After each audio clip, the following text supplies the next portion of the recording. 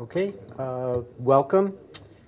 This is my favorite session of the day, the last session, yes. It, uh, it seems like yesterday or the day before uh, that it actually started at 9 o'clock this morning. But I'm going to finish up the day with 11 things about 11G Release 2. Uh, the current release of the database was first put out for everyone to download on otn.oracle.com the beginning of September. And that was the Linux port that came out first. Uh, then in October, they took all of our developers away from Redwood Shores and sent them downtown to San Francisco for Oracle Open World. So no work got done. It was just the show. Uh, as soon as they got back, though, they finished the port of 11G Release 2 to the Sun Solaris platform. That is now generally available with HPUX and AIX to follow very shortly. And Windows is, is slated to be out uh, either the end of this year or first quarter of calendar year 2010. So about by the first quarter of next year, uh, it will be on all of the platforms that we generally use. But what I'm going to go through quickly are 11 things that, as I was reading through, I looked at and said, this will be useful. This is something that I've been looking for. Some of them are small, some of them are, are tiny. Uh, you wouldn't hear Larry Ellison talking about them on stage. Uh, the first one I'm going to talk about, for example, is a feature he probably doesn't even know exists.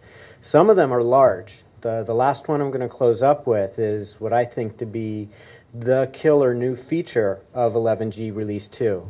Uh, if you needed one reason to consider looking at it, it would be this one feature. Uh, and the ones in between go up and down. Some of them are big, some of them are small, but we'll take a look at a couple. The first one is a way to take a SQL statement and execute it in small bite-sized pieces. Suppose you have a large table and you know you need to update every single record in that table.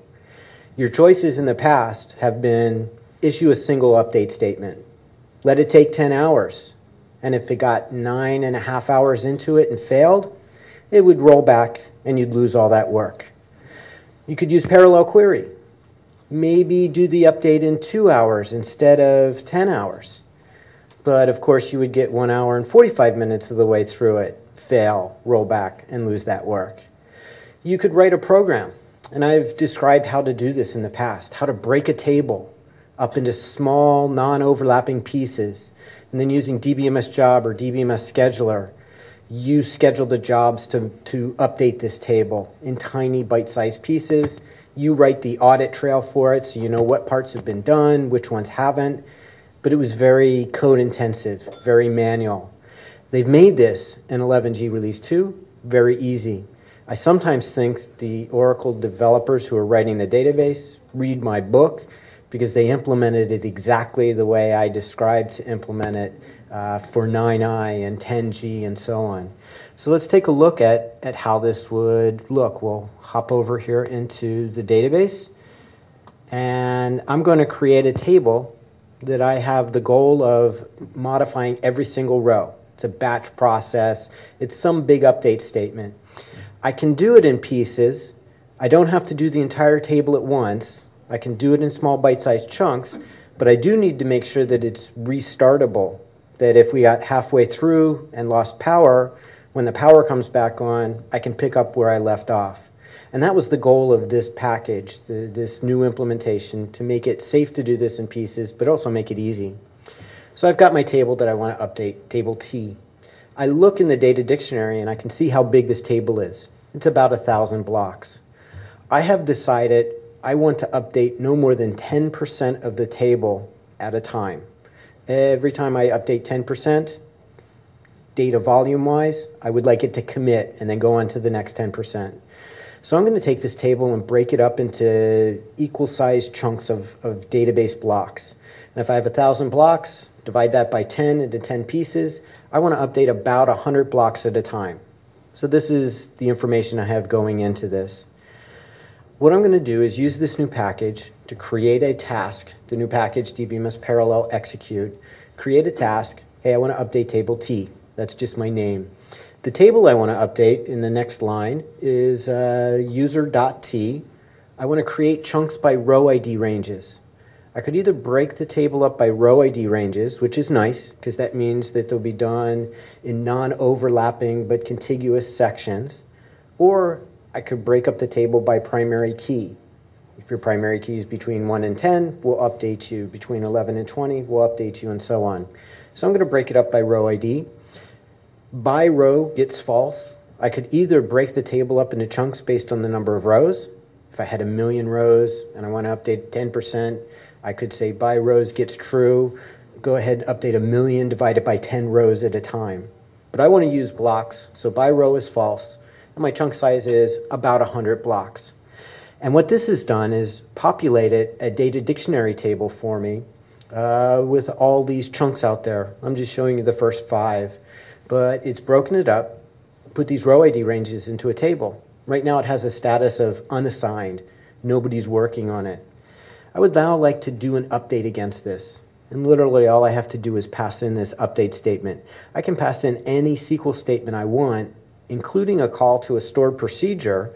It will get the start and end inputs, the row IDs in this case, or the primary key range. And then all it's doing is updating the rows in that range.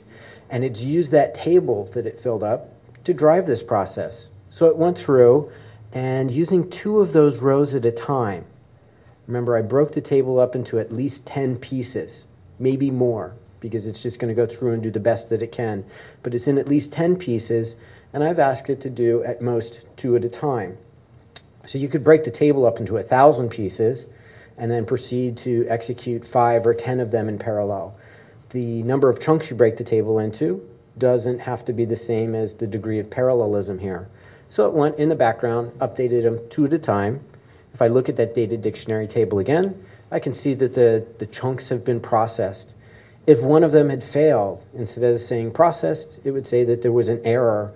And then there's other columns to tell me what the error was. I could correct that, restart the process so that that range does get updated.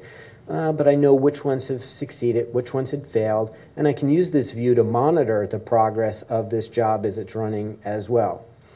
I drop that task, and those rows go away. But this just makes doing what used to be fairly difficult now a standard sort of practice. Everybody can do this pretty easily. It just takes uh, a procedure call to create these chunks and another procedure call to actually schedule the job or run the job in your session. And then it happens in the background and the auditing's built in for you. Another one, some extensions to analytic functions if you have not played with analytic functions inside the database, we introduced those way back in version 8i quite a few years ago. I would encourage you to take a look at them. They allow you to do things in SQL that were before just impossible to accomplish. And they've added a couple inside of 11g release 2 that I thought were interesting. The first one was LISTAGG. Again, I think the developers read my book because way back in 9i release 2, they gave us the ability to create our own user-defined aggregates. And in 9i release 2, I wrote a function I called stringag. And with stringag, it would aggregate strings in the database. I could select depno stringag of ename from emp group by depno. And it would give me department 10 and a comma delimited list of everybody who worked in there. And so there was this string ag, and, and people found this useful. But what they didn't like about it was with string ag, you had to install my PL SQL package, you had to install my function, you had to install my object type.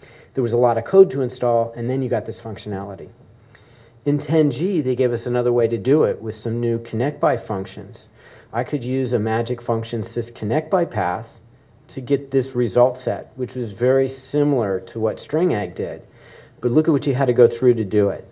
First, you had to go to the employee table, and then for each department, you had to sort it by employee name and assign a unique row number to it within the department.